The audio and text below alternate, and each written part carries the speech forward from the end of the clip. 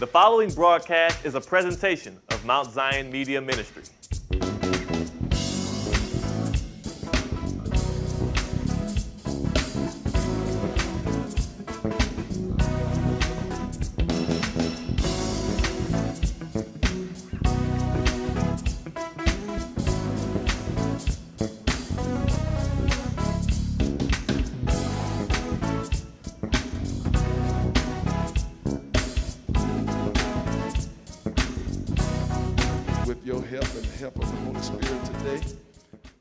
Preach from the subject God's plan for a better life.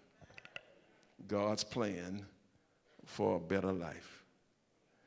One of my favorite passages in Scripture is John 10 10. And it goes like this The thief comes to steal, kill, and to rob, destroy, to mess you up to make life hard.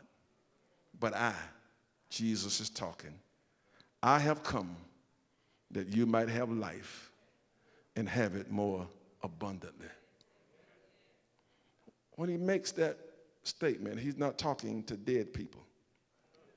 So when he says, I've come that you might have life and have, more, have it more abundantly, he's saying to them, I acknowledge that you have been living but there's more to life and living than what you've been experiencing. And so I have come so that I can add to it. Add to it so that it will be better. How much better? I have come that you would might have life and life more abundantly. Abundance means overflow. More than enough of all that you need to live the life that God wants us to live. And there are some people who have an issue with that particular passage because they are heavenly minded. And they think that all God is concerned about is our life in heaven. But if you've been around me long enough, you know that I don't ascribe to that theology. God is concerned about more than us being in heaven. In fact, He sent His Son all the way here to earth, allowed Him to suffer and die in our place and then raised him from the dead, not just so that we could go to heaven, but so that we could enjoy life down here. And I'm not suggesting that every day will be a flower beds of ease, but I'm telling you, God wants us to do more than exist. But God wants us to live in the overflow, in abundance, so that we can not only be a blessing for our own families, but be a blessing for others as well. See, it's, it's abundance, it's overflow that allows us to be able to bless people around the world, as in Ethiopia. And God wants us to have that. The problem I see, though, in the church is too many of us rely solely on God for the better life. We want better, but we don't want to do what it takes to have the better life. We complain and we point fingers at folk and we blame them and they and, and, and the man and, and, and some of everybody else. But the truth is, a lot of that responsibility lies with us. Yes, God will do his part, but we had a, have a part too. The passage that I read for, for my text in the Christian community, there's a verse in there that we love. We, we shout off it. That that 11th verse that says, For I know the plans I have for you, declares the Lord. Yeah, we, we want to shout right there because God got plans for us. And, and, and what are God's plans? To prosper us. And I'm waiting on God's plan to prosper me. Come on, come on, prosper me, God. He's not going to do me harm, but He's going to do me good. He's going to give me hope. All of this foolishness going on around me, the despair, the disasters, every I'm not worried about that because God has a plan to give me hope and then a future.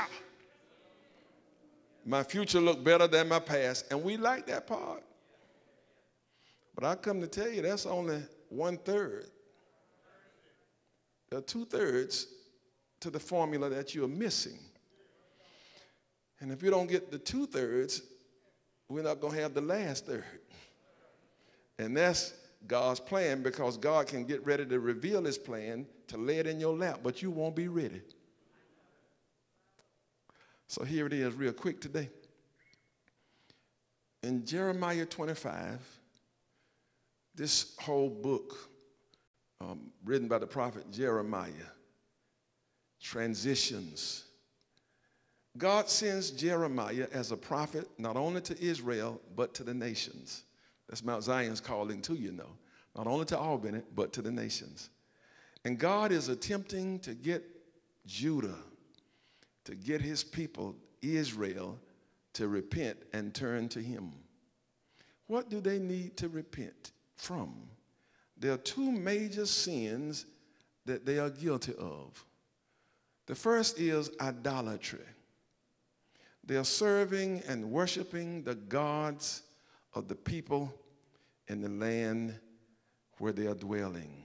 It's a diverse community. And so some of the people are worshiping this God and some another God. And so the people in Israel think that it's cool. So they go to the temple on the synagogue and they worship Jehovah God, their God, but they think it's cool to go worship with their friends. And some even marry and intermarry with people who worship these other gods. And so the wife and the husband goes together at his place of worship one day and the next day they at her place of worship. And god says that's that's not cool with me. It may make peace in your house but it creates division between you and me.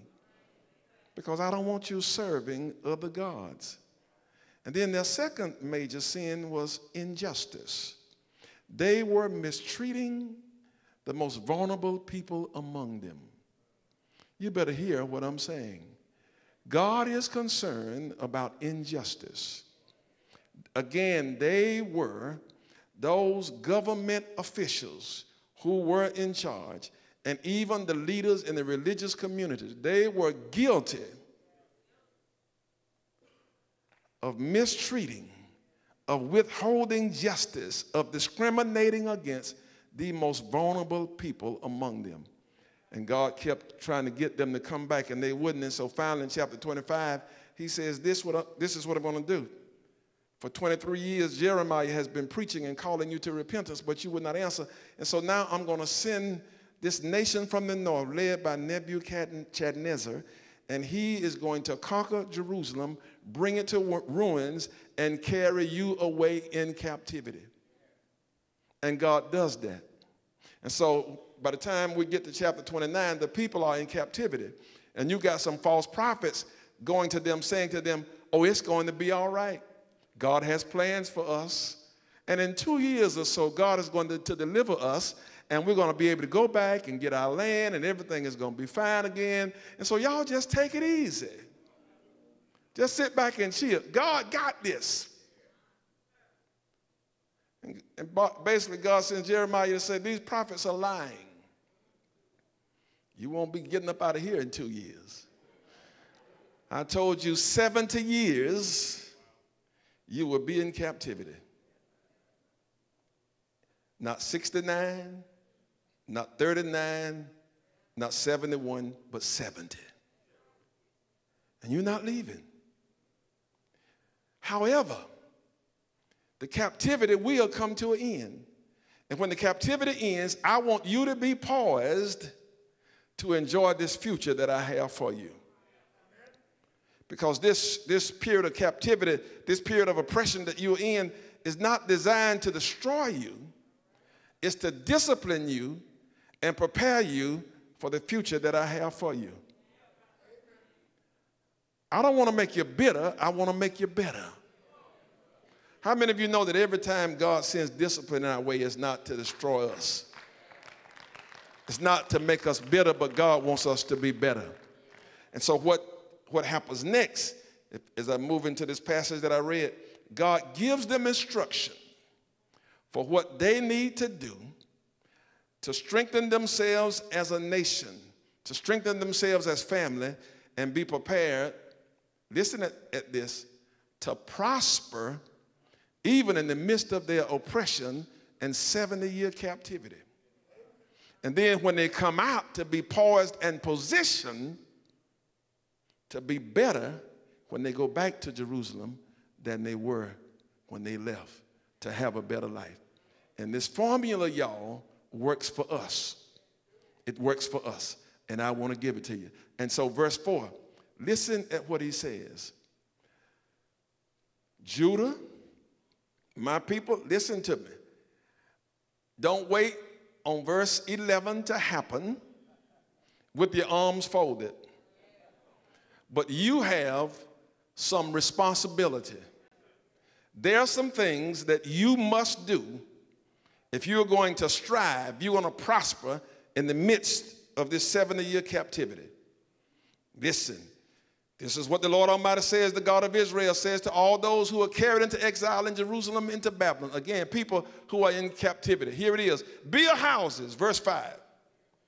Settle down. Don't be anxious and excited and worried to death about your situation. Instead of focusing on your exile, focus on what I want you to do to position yourself for the better. Build houses, settle down, plant some gardens, eat what they produce, marry, have sons and daughters, find wives for your sons, and give your daughters in marriage so they too may have sons and daughters. Increase in number there and do not decrease. Pastor Simmons, uh, are you saying that God want me too have some babies to? Um, Listen at the point he's making t- to them. I want you to grow yourselves, your families, and the nation while you were there. Grow your wealth. Build houses. Don't just live and rent in somebody else's house. Because in this world that you are in, you need influence and you need power. And influence and power is connected to wealth, it's connected to ownership. And I don't want you to be the, the renters, but the owners. You can rent to others. Don't want you to be the lender, I mean, the borrower wants you to be the lender. In other words, create a system for yourself to build wealth, not only for one generation, but he's talking about multiple generations, so that you can increase in power and in influence. And basically, what he's saying, so, so, so, so, so that I can be crystal clear, see where you are and what does it take for you to grow in influence and power to become producers, to become wealth creators. And so for us, it would be build houses as well. And, it, and in some cases, it would be having children and growing and not decreasing. That's part of what, what this anti abortion movement is about. People see changing demographics and they need some babies. And so, so you got to ask yourself, what is it? Is education important? Yes. And so we got to grow, improve our families, our children, our community, a better educated, more educated. And education is more than what happens in the classroom. To be a stronger families, to be a stronger relationships, to make marriage holy again. To make marriage holy again. And, and, and, and come close to me and, and, and, and hear my heart when I say this uh, living together may work for you, so you think, but it really doesn't. Because marriage is more than a piece of paper. Number one, it's a binding covenant between you and God. But number two, it gives you some legal ground to stand on. You see, if you just move in with me, when I kick you out, you just out. And, and, and, and, and because my credit was tore up, you put your name on the lease, you put the car in your name, you put everything in your name. And legally, I have nothing, nothing. I don't owe you nothing. I'm driving off in the car. I don't have to make a payment, and there's nothing you can do about it. Because I'm not legally bound to you in any way. And then when you make me mad and I call the police on you. I, I tell them who named on the property. You don't live here. And so, and so Basically, what he's saying to us, we got to do what we got to do. And you are wise enough to know what it takes by now. All right? I've, I've preached this, that part that I used before, but this part I'm getting ready to go to now, I, am not pressed on. So I, this, I, I, need to press on, on this right, right here for you. Number seven. So the first part is us. But this is what might surprise some of you. The second responsibility that he focuses on is that of the government. He says that the government plays a part in the prosperity, the welfare of the people. There it is in verse 7. Also seek the peace and prosperity of the city to which I have carried you into exile. Pray to the Lord for it because if it prospers, you will prosper. God is saying that the city that's run by the government, the state, the nation, if it prospers, you ought to prosper. And therefore, I want you to work to create peace in the city and to create a government that will allow you to prosper. To create a government that will allow you to prosper. And how do you do that? By participating in the government. Now, I know there are some people who are real holy, and they don't think we ought to touch the government, and they don't think um, that it matters who's in government. They say things like, it don't matter who's, who's elected, God is still on the throne. He is. But he still says that the government has a role and a responsibility, and our life is connected to the government.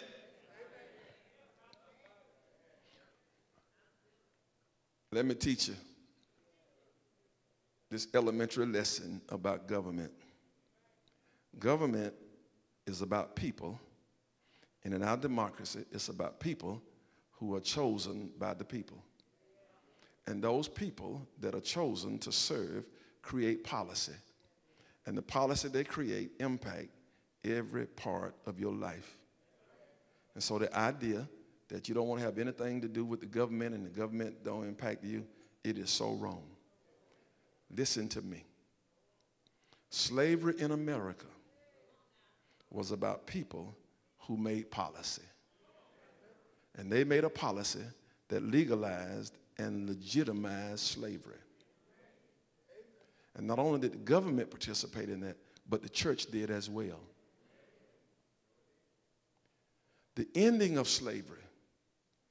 Yes, God had his hand in it, but it was about government who had people who created a different policy to end slavery. And then you had Reconstruction. And as the country began to build and, and they were creating places for people coming out of slavery and trying to create a community where everybody had access, some folk decided that was not what they wanted. So, how did they stop it? They had people in government who created policy that raised up somebody called Jim Crow and black codes. All of that was people and policy. And for, for decades, Jim Crow and all of this segregation, all this foolishness, that, that wasn't the devil, that was government.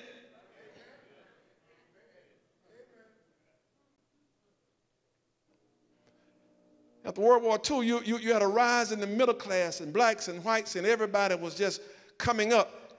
Why did that happen? Government, something called a GI Bill where people made policy that made education affordable and houses and loans and, and opportunities that were not there before. Policy created by people who created opportunities.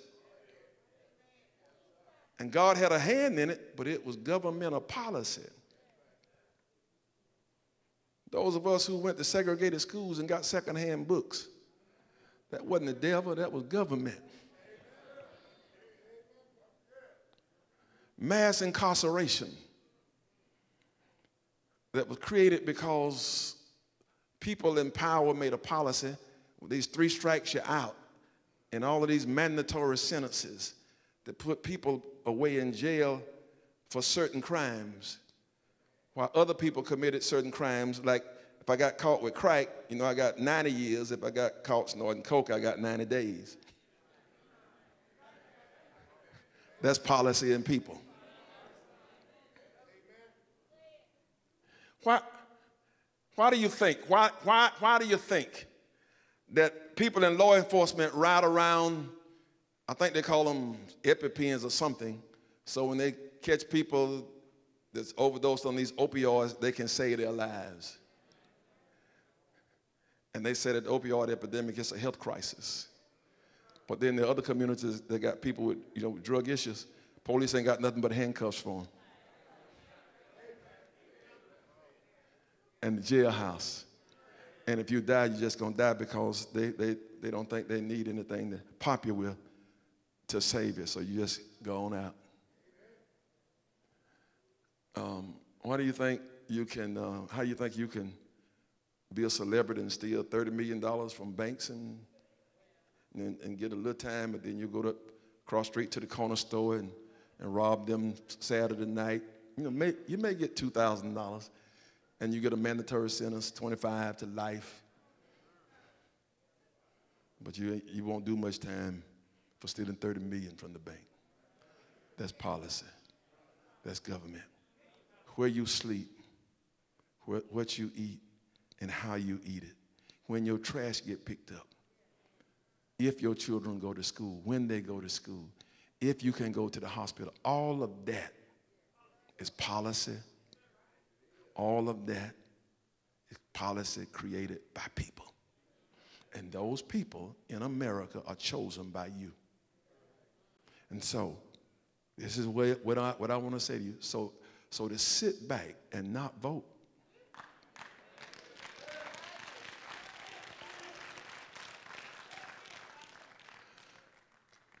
I, I don't get it because there's no part of your life that these people who are elected to government offices and create the policy that does not impact your life. They control what you do in your bedroom. And so it make all the sense to me, but more so than that, I hear God saying that we ought to be participating so that we can ensure that there's peace and prosperity in the city. And this is the choice that you have to make. You know who the people are, and you know what policy they represent. And so you have to go and vote based on your values and who best represent policies that will help you and not harm you.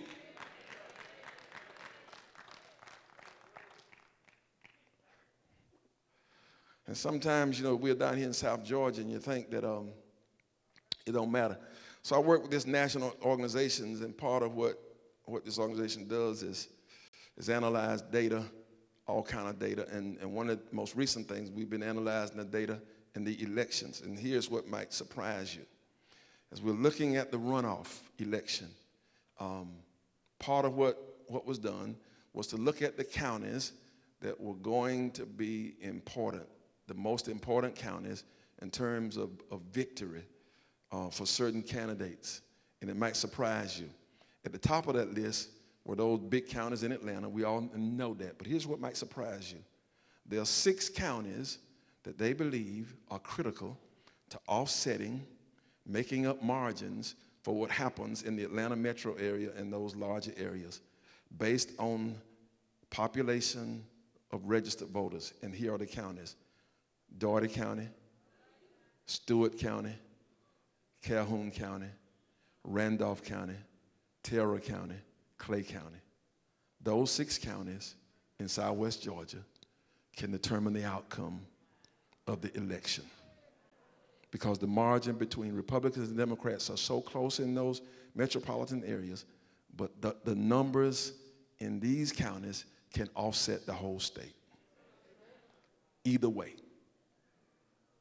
The issue is, though, starting tomorrow,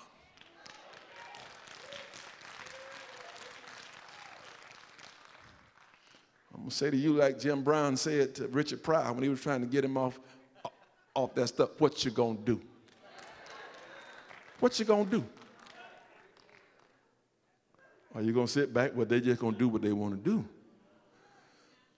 Are you going to vote and make sure that everybody in your house vote. Everybody around you. And, and, and in the words of Sister Rutha Harris, I ain't gonna let nobody turn me around. Gonna keep on marching on up to those polls. And so let me, at least I tarry too long. I just want to say to you one more time the government has a role. Now, I told you about what government does, but this is what I want you to do for me. Because you know, I, I, I uh, pastor a studio smart congregation. Look at American history and the creation and the growth of America, of those who are rich, those who are empowered, and what you will see, contrary to what they may tell you, none of them did it without government support. I probably could have been a large plantation owner too if the government had given me land. I could have been a rancher out west if they had taken the land from the Native Americans and given it to me. Yeah. I, I could have been a large manufacturer if the government had given me all these incentives and, and free stuff to go out and create jobs. But they didn't. So nobody else in the world has ever done it, has ever made life better for them without the assistance of the government. And the idea that that that that you shouldn't want it, the government to participate, whether it's in tax laws or, or anything, then you need to just come on, let's sit down and talk over coffee.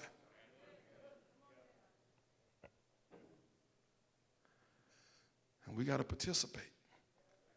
I'll read it one more time. Also seek the peace and prosperity of the city which I have carried you into exile. Even though you're in trouble, you, are, you can still do it. Pray to the Lord for it. Pray for our nation. Pray for our cities. Here it is.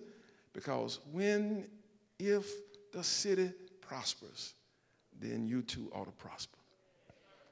And to prosper is to be able to do better. Amen. All right, all right. I'm, I'm, I'm, I'm just about through now. And then we come to the third part, and that's God's part.